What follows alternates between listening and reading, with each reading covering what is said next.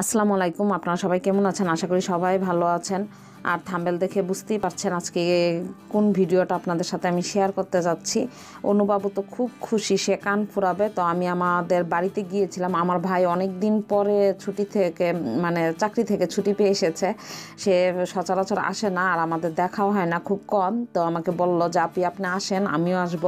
তো বাড়িতে গেলাম, আমি সকালে গিয়ে আবার বিকালে চলে আসছি। আর অনুবাবু তো আগেই বলে রেখেছে, সে কান ফুরাবে। এর জন্য আমাদের এখানে যে কান ফুরায়, আমাদের নানু হয়।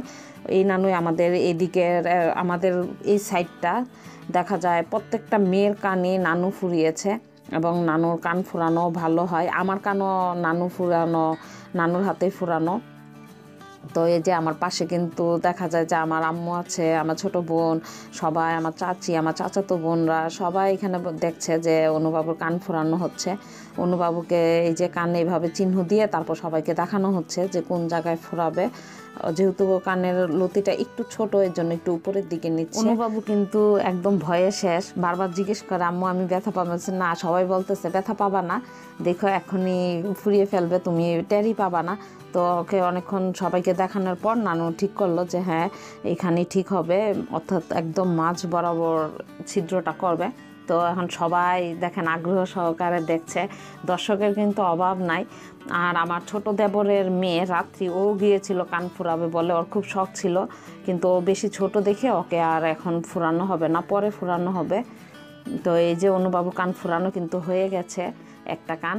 তো অনুবাবু কিন্তু খুব ভয়ে ভয়ে আমার দিকে তাকাচ্ছিল যে, আম্মু, আমি ব্যথা পাবো। আমি বলছি, না, ব্যথা পাবে না, কিচ্ছু হবে না। আর ওর খুব শখ, কারণ ও যখন স্কুলে যায়, দেখে স্কুলের প্রত্যেকটা মেয়ের কানে জিনিস, তখন ও বলে, আম্মু, আমি কানে জিনিস পরবো, আমাকে কান ফুরানোয় দাও। তারপরে এই সিদ্ধান্ত নেওয়া হলো যে, অনুবাবুকে কান ফুরিয়ে দেওয়া হবে।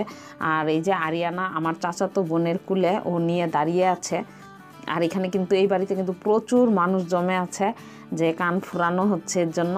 তো অনুবাবুর এক কান ফুরানো হয়ে গেছে আর একটা ফুরিয়ে দিবে। গ্রামীণ পদ্ধতিতে কিন্তু এভাবেই আগে কান ফুরানো হতো। এখন তো পার্লারে দেখা যায় কান ফুরানো হয়। অনুকে বলেছিলাম, কিন্তু অনু রাজি হয় না। অনেকে বলেছে যে, কান পার্লারে যখন ফুরাবে তখন নাকি সে আরও বেশি ব্যথা পাবে। আমি বলছি, না, ব্যথা পাবা না। তারপরও দেখো তুমি কীভাবে ফুরাবে। তো এভাবেই রাজি হলো যে আমি এভাবেই ফুরাবো। পরে ওকে এইভাবেই ফুরানো হলো। তো দুইটা কানি কিন্তু ফুরানো হয়ে গেছে। আমার মেয়ে কিন্তু ব্যথা পেয়েছে, তারপরও দেখা যায় মুখে হাসি নিয়ে রেখেছে। ও তো খুবই খুশি সে যে কানে জিনিস পড়বে তো ওর পরে দেখা যায় আরও কয়েকটা মেয়েকে কান ফুরানো হয়েছে। তার মধ্যে আমার চাচাতো বোন আছে, মারজান। ওকেও কান ফুরিয়ে তারপর নানু বলছে যে আর কেউ বাকি আছে কিনা? তো সবাই হাসাহাসি করছে যে আরিয়ানাকেও কানটা ফুরিয়ে দেই, একসাথে দুই বোনের। তো এই যে সবাই কিন্তু ভয় পাচ্ছে যে নানু কাকে ফুরাবে ডাকছে। পরে বলছে, না, পরে। আর ও হচ্ছে মারজান। আমার চাচাতো বোন, এখন ওর কানগুলো ফুরিয়ে দেওয়া হবে। ওরগুলো আগে ফুরানো হয়েছিল, তারপর দেখা যায় জিনিস পরে নাই, বন্ধ হয়ে গেছে, যার জন্য আবার কানটা ফুরানো হচ্ছে। আর মাসাল্লাহ ওর কিন্তু কানের লতি আছে। এই যে নানু একদম তাড়াতাড়ি করে ওর কানটা ফুরিয়ে দিচ্ছে।